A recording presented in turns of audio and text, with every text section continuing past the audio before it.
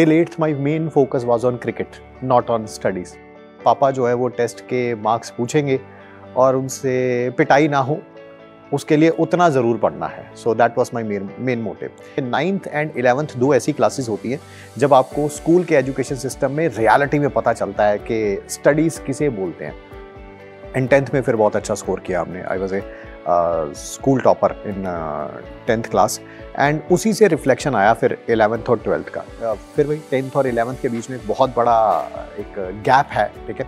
और जैसे ही आप इलेवेंथ में आते हैं तो आपको एक वो जो शॉक वेव है ना वो काफ़ी महीनों तक या कुछ दिनों तक झगड़े रखती है ठीक है? सितंबर के फ़र्स्ट टर्म के बाद रियलाइजेशन हुआ कि it's not similar to class tenth you have to change your strategy and teachers का गाइडेंस उसमें बहुत बड़ा रोल प्ले करता है। And I trusted by teachers blindly ठीक है? एंड डेफिनेटली फिर वो इलेवन ट्वेल्थ में इलेवंथ में अच्छा स्कोर किया ट्वेल्थ में फिर मैंने बहुत अच्छा स्कोर किया।